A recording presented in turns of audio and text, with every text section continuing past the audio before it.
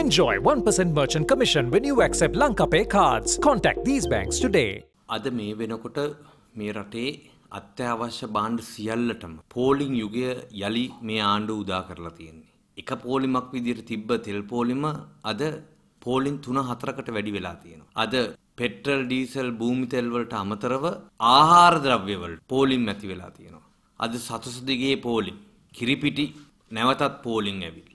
Gas කවදා එනවද කියලා අලුතෙන් පත්වෙච්ච සභාපතිවරයා කියන. ඒ කියන්නේ අද මේ වෙනකොට තව සති දෙක තුනකට ගෑස් එන්නේ නැති තත්වයක් පිළිබඳව තමයි කතා කරන්නේ. එතකොට අපේ නාගරික ප්‍රදේශවල ජීවත් වෙන ජනතාවට ගෑස් නැතුව කොහොමද කෑම ටිකක් ගන්න? මේ ආණ්ඩුව මේ ගැන අවධානය යොමු කරන්න ඕන. විශේෂයෙන්ම රනිල් වික්‍රමසිංහ මැතිතුමා අග්‍රාමාත්‍යවරයා හැටියට පත් වෙනකොට රනිල් වික්‍රමසිංහ මැතිතුමා පත් වෙලා පැය 24ක් පැය 48ක් යනකොට මේ ප්‍රශ්න අවසන් වෙනවා කියලා එක්සත් ජාතික පක්ෂයේ ඉන්න ප්‍රධානීන් ටික රනිල් වික්‍රමසිංහ මැතිතුමාගේ ගෝලයෝ බාලයෝ ටික මේ රටේ මතයක් ඇති කරා.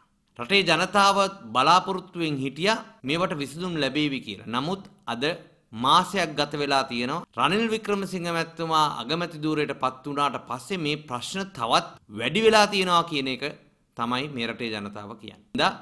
අද මේ ප්‍රශ්න වලට විසඳුම් ලබා දෙනව වෙනුවට සතිපතා ඇවිල්ලා මාධ්‍යයට ප්‍රකාශ කරනවා මේ රටේ ප්‍රශ්න තවත් උග්‍ර වෙන ආකාරය.